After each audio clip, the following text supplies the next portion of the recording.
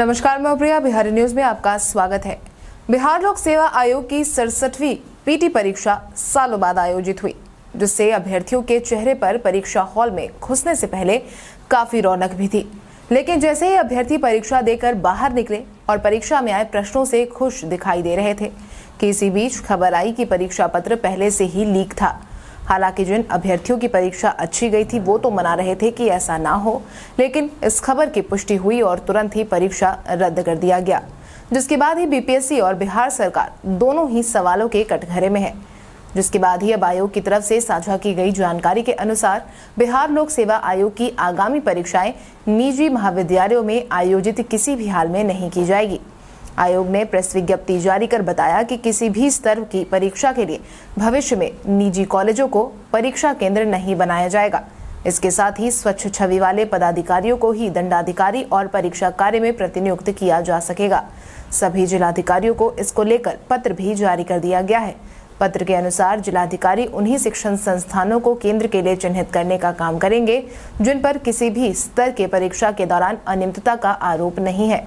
शिक्षण संस्थानों में बाउंड्री दुरुस्त और ऊंचाई मानक के अनुसार हो, क्योंकि हाल ही में हुए पेपर लीक मामले के बाद ऐसी खबरें आई कि आयोग के अधिकारियों ने बताया है कि जाँच के दौरान कुछ केंद्रों में अनियमितता की शिकायत मिली है, जिसे ध्यान में रखते हुए उक्त निर्देश जारी किया गया है।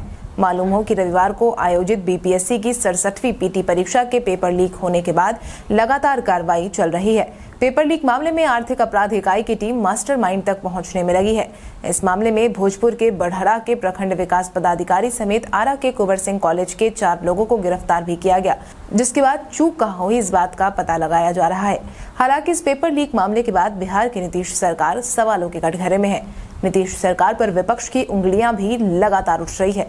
क्योंकि विपक्ष का आरोप है कि बिहार में पेपर लीक के मामले आम है और हुआ भी ऐसा ही है।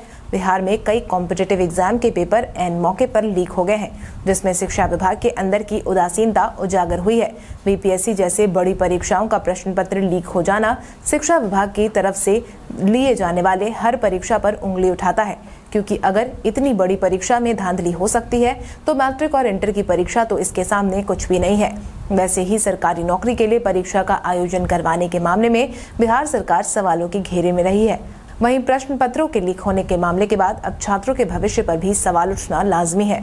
हालाँकि परीक्षा के आयोजन में किए गए इस बदलाव के बाद आगे होने वाली परीक्षाएँ कैसे आयोजित होती है, ये देखने वाली बात होगी। इसके साथ ही आज के इस वीडियो में बस इतना ही। तब तक के लिए धन्यवाद।